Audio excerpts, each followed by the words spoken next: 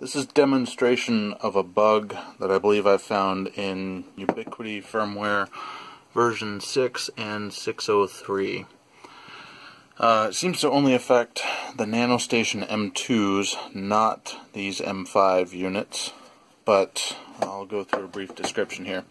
So these full-size NanoStations have the input and output, so you can run a second PoE device off of them just for demonstration, I've hooked up another radio.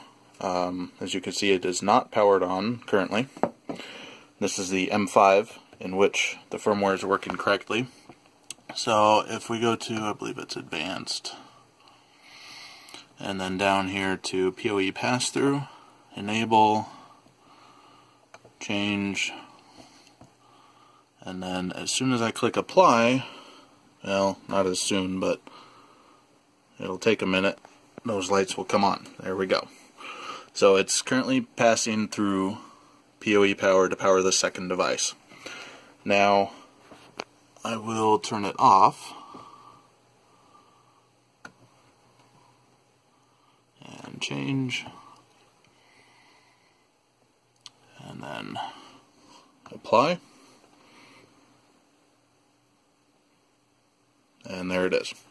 So with the M5 NanoStation, it is working properly. Here we go. So I'm going to hook up a M2 NanoStation, and you will see it has power constantly regardless of the PoE pass-through setting in the control panel. I have a NanoStation M2. Focus, there we go. Um, I do not have it plugged in, but you can see the main has the blue Ethernet port and the secondary has the gray. So I'm going to plug it in at the PoE adapter, and as soon as I do, you should see both of those light up. There you go. So we'll go into the control panel and take a look at the settings for that. Okay, so here we are with the NanoStation M2 booted up. As you can see, both of these are powered. And we'll go into the control panel here, into advanced, and you'll see PoE pass-through is not enabled. So, without PoE pass-through enabled, the device is still passing power through. Now again, it is set up properly.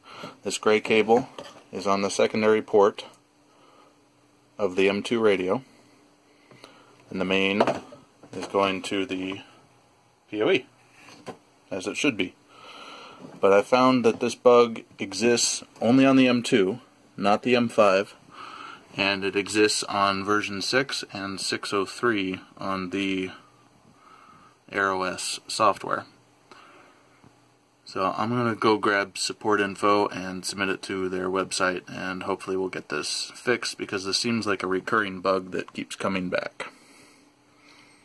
And just to clarify, both of these, both the M2 and the M5 that I have here, are both on factory defaults, except I had to change the IP address to this because this guy's also on defaults and they were both on the same IP.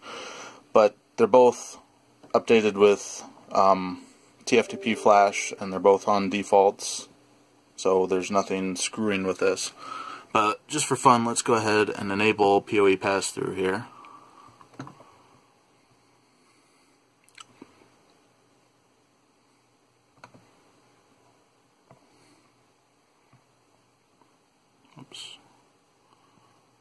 And we'll do apply.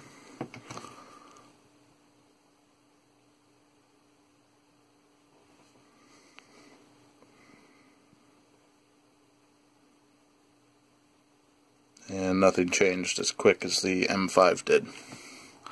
So let's go, let's see, where are we? We'll go down and disable PoE pass-through.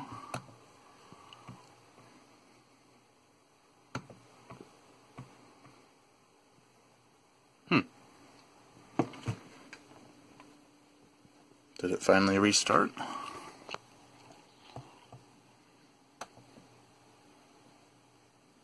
Yeah, there we go. Okay. So, it accepted the change and restarted, but it still hasn't disabled it.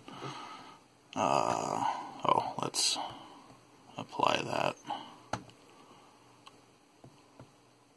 Okay, rapid apply, do that. This is disabling PoE pass-through.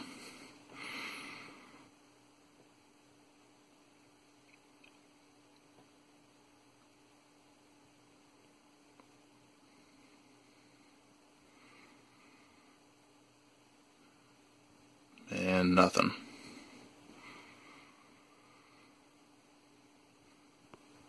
So in version 6 and 603 of AirOS, for the NanoStation M2 devices, they will pass through PoE no matter what.